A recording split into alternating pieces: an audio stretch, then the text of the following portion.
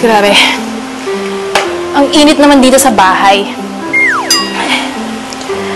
Ang init. Ano ba itong electric fan na to? Hindi ko alam paano buksan. Ah, hindi rin pwede itong electric fan na to. Grabe ang init.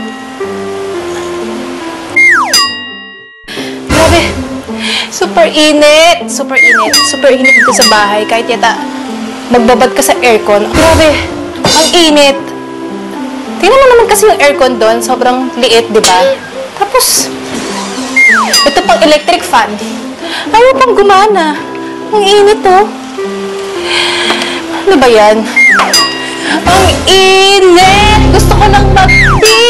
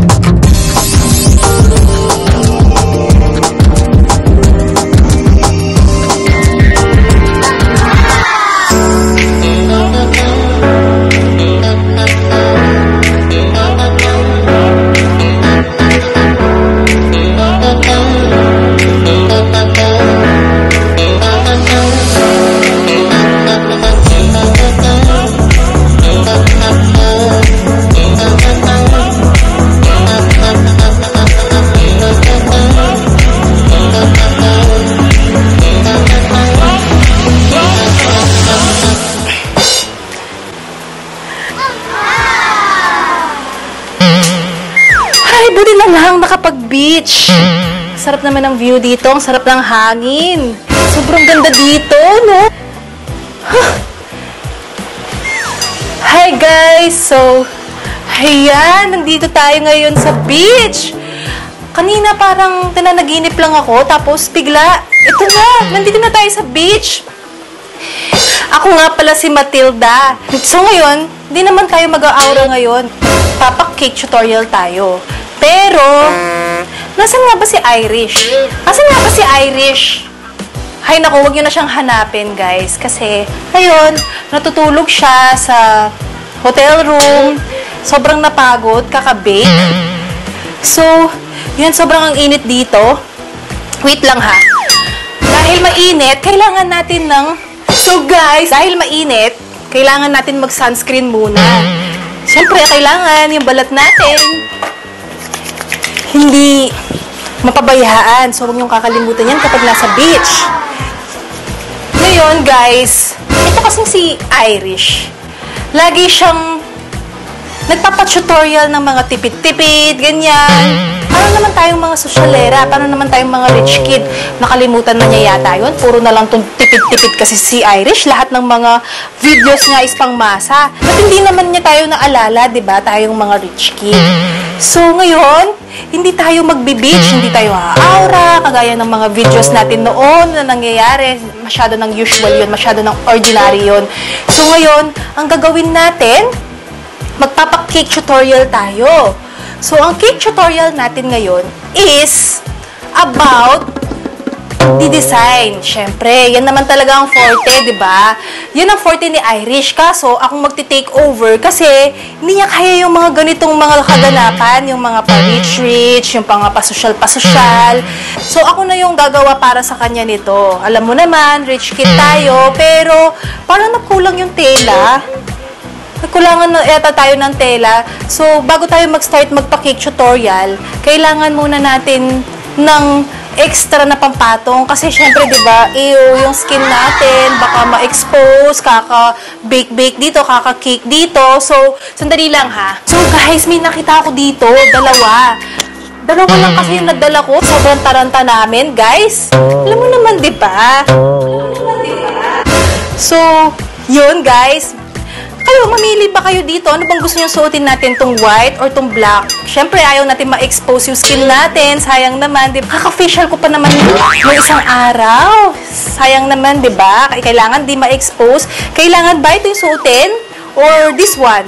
Pagka nagpapakake tutorial, ano ba sinusuot ni Irish? Jologs yata yun? Comment down below na lang kayo kung anong pipiliin natin. So, ayan, guys. So, parang mas bet kong suotin ngayon to kasi parang nakaka-fresh, nakaka ganda ng balat, di ba? So, yan. Ito na yung napili kong pang-cover up natin. So, ang gagawin natin ngayon is magpapakake tutorial tayo. So, ngayon, ang gagawin natin na cake tutorial is pang rich kid. Yan, bagay na bagay sa akin yan. Kasi alam mo naman, di ba? Ayoko nang tinitipid kapag ka nagkik-cake o kaya may mga parties na kaganapan. So, kailangan dalhin natin dito sa beach para kahit na umaaura ka sa beach, kahit na sobrang init, kailangan yung cake mo is nandyan pa din. At nakadesign pa din yan. Ayoko kasi yung mga simple, ayoko yung mga walang detailed. Gusto ko yung gagawin kong cake ngayon is in detail. So, yan guys, umpisahan na natin kasi excited na ako. Alam mo naman, di ba, may gagawin pa ako mamaya. Kailangan ko pang umaura doon and then pumarty. So, yan, tara na guys! So, yan guys! Nandito na tayo. Sobrang, alam mo yon guys, pinaayos ko muna sa mga tao ko yung mga gamit. Kaya, alam mo yun, namasyal muna ako banda doon. Kasi, meron naman kami mga tao dito. So, kailangan pa ba maghirap? So, yan. Nakikita nyo naman sa screen nyo, guys, yung mga kakailanganin natin. So, start na natin. So, guys, hanggang ngayon, alam nyo, nandiyan pa rin sa hotel room si Irish. Natakot kasi siya sa kakabake. Alam mo yun, yung magbe-beach ka na lang, tapos kailangan, nagtatrabaho pa. Hindi niya alam yung pagre-rest. So, ito, gagawin na natin yung pang rich kid na cake. Alam mo naman, di ba guys, para bumagay naman sa atin. At saka tinanggal ko na din yung cover-up ko. Kasi napansin ko parang sobrang init pala talaga. So, yun, parang hindi na na-problemahin. Sobrang ang init kasi. So, start na natin yung pag-tutorial ng cake. So, ito guys, so, take note guys ha, pang mayaman tong cake na to. So, gagawin natin yan. So, una guys, So, meron tayong cake dito. So, pinag-bake ko na si Irish, kaya sobrang pagod na pagod siya. Alam mo naman, nag-chill-chill ako doon habang nagbe-bake. So, buti na lang. Ito, niready niya na yung i-bake natin. So, meron tayong dalawang cake dito. So, yung size nito is 7 inches. Siyempre, di ba? 7 inches. 7 inches. Siyempre, di ba? Kailangan sa mga rich kid na kagaya natin, kailangan natin ng sobrang malaking cake. Hindi natin pwedeng tipid-tipid, di ba? Ano ba yung tipid na yon So, yan, ang una natin gagawin is, kunin natin to. So, guys, take note pala ha, kailangan naghugas kayo ng kamay. So, before naman ko ginawa ito, before ako pumunta dito, naghugas ako. Siyempre, nag-alcohol. Siyempre, alam mo naman, kailangan lagi tayong malinis. Hindi lang during sa pagkikake mo. Siyempre, di ba, para na rin sa hygiene mo, everyday, Siyempre, alam mo naman, rich kid tayo. Hindi tayo pwedeng malagyan ng mga germs. Yan. So, kailangan natin kumuha ng knife. So, dapat matulis. So, hahatiin natin yan para, alam mo yun, yung layering ng cake natin is maganda. So, ito kasing si Irish, tingnan mo naman yung ginawa niyang cake. Parang hindi pa siya perfect. Pero okay lang yan, carry lang yan. Kasi tayong mga rich kid, kaya natin diskartihin yan. Tingnan nyo, medyo, ano siya, yung parang napingas siya dito. Pero ang bango. Ang bango. So, napingas siya dito, which is, okay lang naman yan. Kasi, magagawan naman natin ng paraan yan. So, hatiin mo lang sa gitna. So, ganyan. Ayan na siya. And then, yung next natin na cake, hatiin din. So, ganyan din, nasira din. So, mapagawa na natin ng paraan yan. So, kahit actually, kahit hindi mo nahatiin tong cake na to, is okay naman siya. So, yan, yung mga nahulog. So, yung next natin na gagawin, guys, ang dinidesign pala natin is yung pinaka-social na mermaid cake. Mermaid beach cake. Total, nandito rin naman tayo sa beach, di ba? Bakit hindi pa natin lubos-lubusin, guys? So, yan. Kukunin ko lang yung frosting. So, pinakilaman ko na din pala yung mga gamit ni Irish kasi, yun, sabi niya sa akin, bahala ka na kung anong gusto mo, friend. So, ako ito, ginawa ko na din yung loob ko, dinala ko na din sa beach, itong mga gamit na nakikita ninyo sa, sa harapan natin. So, yan. Paano ba mag-layer ng cake? So, kailangan mo nito. And then, nakapag-ready na rin ako ng icing. Alam mo yung icing ni Irish, sobrang ganda niyan, sobrang sarap. Kasi, kahit na sobrang ang init na ng panahon, nakakayanan pa rin niyang tumravel. So, ayan. Ang ginagawa ko is yung una, lagyan mo ng icing. Yung pinaka-board ng cake mo. Para, di ba, kapag ka ibabiyahe mo yan, or gusto mo maging stable, so kahit mga ano pa yan, dahil meron siyang icing sa ilalim, so magiging stable pa rin yan kapag ka tumigas. So, yan. So, start natin yung pagle-layer. So, hindi masyadong maganda yung pagkakabake, pero carry na yan. Yan, guys. So, alam nyo naman, guys, kailangan, kahit na ganyan, gagawan pa rin natin ng paraan yan. So, ito na nga. Kukuha tayo ng icing pang layer sa cake natin. And then, kalat mo lang dyan. Guys, kailangan, hindi mo tinipid yung cake. Hindi mo tinitipid yung icing na ginagawa mo kasi para lahat ng mga clients na pumupunta sa'yo, di ba, talagang babalikan ka. Tsaka especially ako, ayoko ng tinipid, di ba? Tayong mga rich kid, ayaw natin ng tinitipid tayo. So, yung next, i-layer din natin. Ang messy, ew! Pero okay lang yan, dahil tayo yung gumagawa ng cake. It's okay. So, yan guys. Nililayer na natin yung cake. So, ganyan siya. Yung pagle-layer ng cake natin. And then, ilagay na natin yung pinaka-final na cake. So, yan. So, aayusin na lang natin. Mmm. Ang sarap. Mo, yung mga binibake talaga ni Irish, masasarap talaga yan eh. Imagine, kahit na ganun yun, kahit jologs yun ha, masarap-sarap rin ng mga ginagawa niya. Ah. Alam nyo guys, sobrang ang kalat, pero, alam mo yun, palinis ko na lang sa tao ko, wait lang. Ay. Ito na nga guys, alam nyo naman dito, sobrang init, ba? Kaya yung frosting, pinaayos ko muna sa mga tao ko. Kasi, alam mo lang init dito, gosh. OMG.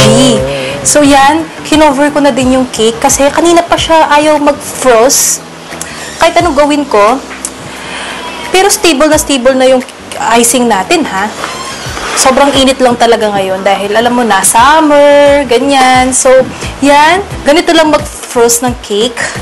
So, ah, damihan mo kasi, alam mo yon di ba? Yung mga clients mo, like me, talagang, mo yun? Ayan, may nahulog pang icing! OMG! May icing! Ito yung pinakaayaw ko, guys. Yung, alam mo yun, yung super messy, pero, kiber lang yan. Kakayanin natin yan. So, di ba? Ay! Ang gagawin natin ngayon is naked cake. Alam mo yun, nadumihan na yung swimsuit ko. Oh my gosh. So, yan guys. Yun na yung itsura ng ginawa nating cake na finrost natin, di ba? So, kapag gagawin nyo to, since naked cake ang ginagawa natin, so, caring-carry yung medyo rugged, medyo, alam mo yon yung hindi na masyadong ma-icing, ganyan. So, ito kasi yung mga type kong cakes ngayon, yung hindi masyadong ma-icing kasi alam mo naman yung diet ko, 'di ba? Baka tumaba na ako sa kakakain ng mga cake. So ganyan yung mga pang socialerang cake. So pwede nyo siyang i-ref or i-design na natin, guys. So, before yan, kailangan linisin muna natin yung side niya.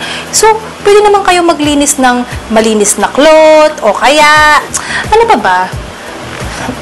Ako kasi, cloth na lang ako kaysa doon sa mga tissue na mga disposable. Ew, ayoko ng mga disposable kasi gusto ko talaga yung mga magagandang gamit, ganyan. Ayoko talaga. Yung mga nabili lang na disposable, So, yan. Malinis na yung cake natin. So, so, super, alam mo yon napaka-dirty. Pero, it's okay kasi kakainin natin mamaya yan. And syempre, di ba, kapag ka pumaparty, kailangan natin ng ganyan. Kailangan natin ng mga ganitong mga design. So, ganito lang yung design niya. So, it's up to you kung gusto mo siyang lagyan ng details. So, ito na yung pinaka-favorite kong part, yung nagdi-design. Ayoko na itong mga ganito, yung mga nagpo-frosting-frosting.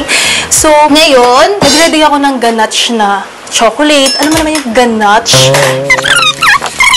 So, ito siya. Ang ganache natin is, nilagyan ko siya ng cream at saka ng white chocolate. Gusto ko Toblerone. Toblerone yung nilagay ko dito. So, kayo kung gusto niyo ng kahit anong mga chocolate, pero kasi ako, ew, ayoko na nagtitipid. Gusto ko, real chocolate ang ilalagay ko sa cake ko. So, yan. So, hindi ko naman birthday, pero gusto ko lang talagang pumarty, ganyan. So, ano bang lalagay natin na color? Gusto ko is color blue para match naman siya. So, talagang nafe-feel ko na yung pagiging rich kid ko. Alam mo, ba?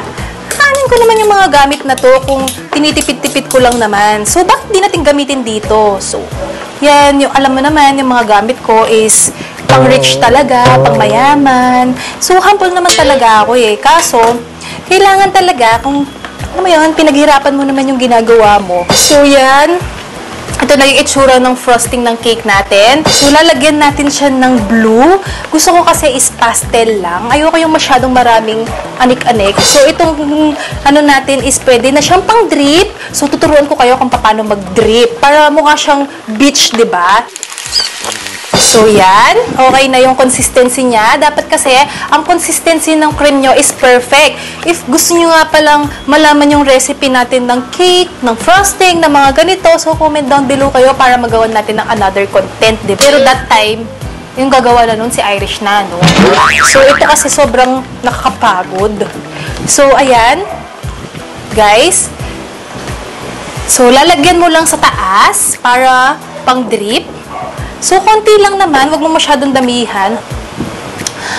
So, konti lang naman, wag mo masyadong damihan yung drip mo. And remember na kapag ka nagdi-drip ka, dapat matigas na matigas yung cake mo.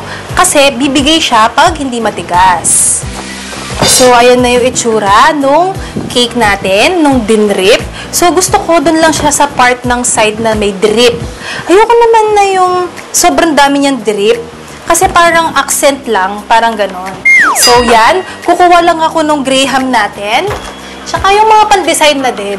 So, ito yung graham natin, guys. So, ito yung parang magiging sand fill niya. So, ito yung drip niya. So, lalagyan natin ng sand dyan. Oh my gosh.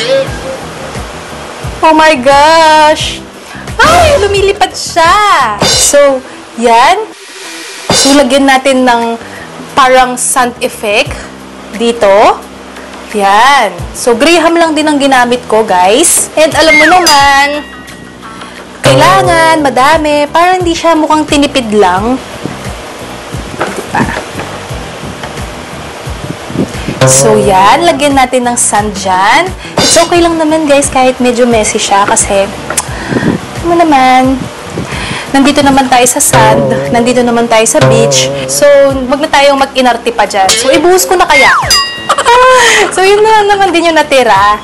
So, yun na siya. Mukha na siyang parang beach. So, ganyan na yung itsura niya. And then, ang susunod nating gagawin is, dahil mayaman tayo, guys, alam mo naman, nakakaluwag. So, lagyan natin ng ganitong mga sprinkle. So, yan. Sobrang natutuwa ako kapag ka nagagamit ko na yung mga gamit ko na pinaghirapan ko. Alam mo naman, alam mo, itong mga sprinkle na to is, binili ko pa siya sa Paris. ba? Kasi, Ayoko ng mga sprinkle na nabibili lang dyan. Gusto ko yung talagang pang mayaman. So, yan. Nabigyan natin ng sprinkle. And then, ito guys. So, bumili na rin ako ng mga pang-topper. So, kayo, kung gusto ninyo ng fondant, okay lang. Pero dahil rich edition tong cake na to, kailangan is pang-rich din yung mermaid natin. So, ito, binili ko pa to sa... Diyan-diyan lang naman din. so, yan. Ang cute niya, di ba? Ano siya? Shining, shimmering siya. So, ilalagay natin siya dito. So, di ba? Ang ganda na. So, so kung ikaw birthday mo, which is hindi ko pa naman talaga birthday, pero dahil nakita ko to, I find it so cute. So, ilalagay din natin to.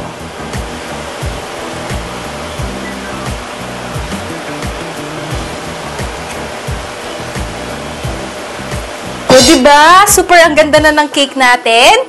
And then, meron akong binili pala na shell. So, kayo, kung gusto ninyo ng fondant, pero ako kasi ginawa ko na to earlier. So, may mga shells. Yan, lagyan natin ng shells dyan, shells everywhere, para, di ba? Gusto ko rin kasi mga colorful. Oh my gosh.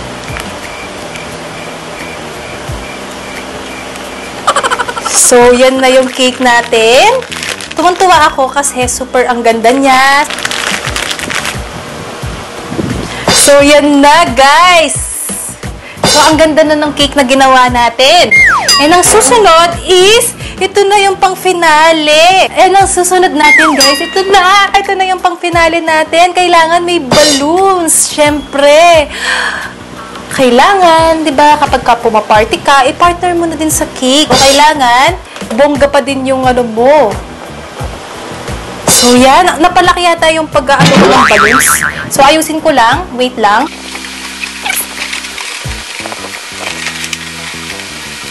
So, usually kasi, maliit lang talaga yung balloons na ginagawa natin sa cake. Pero, dahil pang rich edition ito, so, yan. Kailangan, malaki din. Bongga din dapat yung balloons na gagawin mo. So, lagay na lang natin dito kasi... So, nakikita niyo pa ba ako, guys? So, ayan na siya, guys. Yan na yung itsura ng cake natin. Sobrang ang ganda, diba? Match na match siya sa team. And gusto ko kasi may pink, meron siyang white. Para, diba, match na match sa personality ko na pang rich kid, ganyan. So, yan, ang ganda-ganda na ng cake natin. So, papakita ko sa inyo yung final look niya, guys. So, ayun guys, tapos na siya. Ang ganda-ganda na ng gawa natin. So, usong-usong ngayon yan, may balloons. Siyempre, di ba, kapag ka rich kid ka, kailangan ganyan yung ano mo, bongga. Di ba? Pang bongga siya.